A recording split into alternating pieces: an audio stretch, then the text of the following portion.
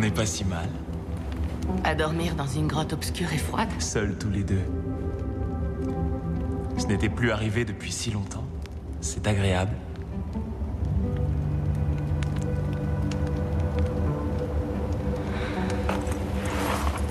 Je... J'espère que Kara va bien. Et le petit aussi. Si quelqu'un peut lutter contre les sœurs de l'obscurité, c'est bien le fils de Kara et de Darkenral. Tu peux imaginer quel genre d'homme il deviendra. Un homme brillant, Obstiné. d'une puissance folle. Assez pour diriger le monde. Qui pourrait l'en empêcher? Notre enfant?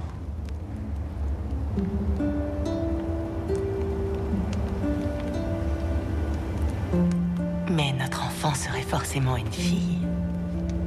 Une fille capable de s'attaquer à une dizaine de soldats de Dara comme sa mère. Moi, ce que je voudrais, c'est qu'elle ait un grand cœur. Comme son père. Et moi, qu'elle ait les yeux de sa mère et son regard. Non. Non, non, je voudrais qu'elle ait les tiens.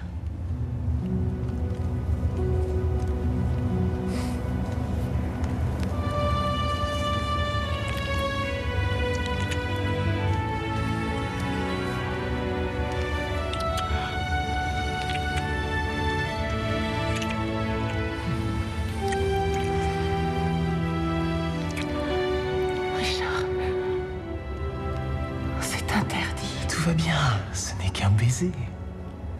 Ced et Kara ne sont pas là. Oui, c'est bien le problème. Lorsqu'ils sont avec nous, je peux arriver à ne pas me jeter sur toi pour t'embrasser. Mais en leur absence, il n'y a rien à part le discernement qui puisse m'arrêter. Et quand tu m'embrasses comme ça, je sens que mon discernement s'évanouit.